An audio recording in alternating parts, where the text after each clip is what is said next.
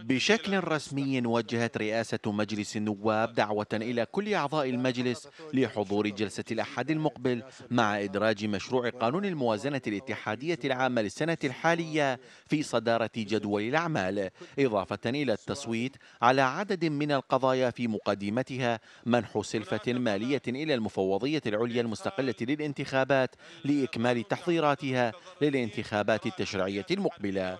نواب عن ائتلاف دولة القانون استبعدوا حصول نصاب قانوني خلال جلسة الأحد المرتقبة في حال بقاء الخلافات بين بغداد وأربيل.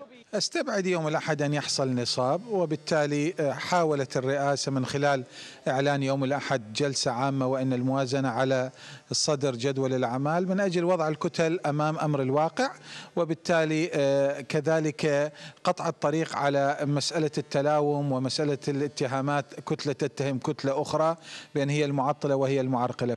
فيما توقع نواب عن ائتلاف الوطنية الذي يتزعمه إياد علاوي حصول نصاب قانوني في جلسة الأحد المقبل والانتهاء من القراءة الأولى لمشروع قانون الموازنة الاتحادية العامة.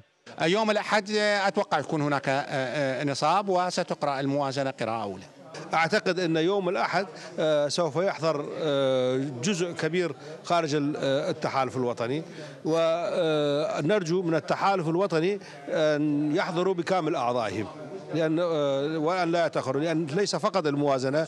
أربعة أيام فقط هو ما تبقى على جلسة الأحد وما سيحصل خلال هذه المدة من تطورات في الحوارات الدائرة حول الخلاف بين بغداد وأربيل. ستحدد موقف ائتلاف الكتل الكردستانية بشأن حضورهم جلسة الأحد من عدمه بحسب نواب كرد خلال اتصال هاتفي.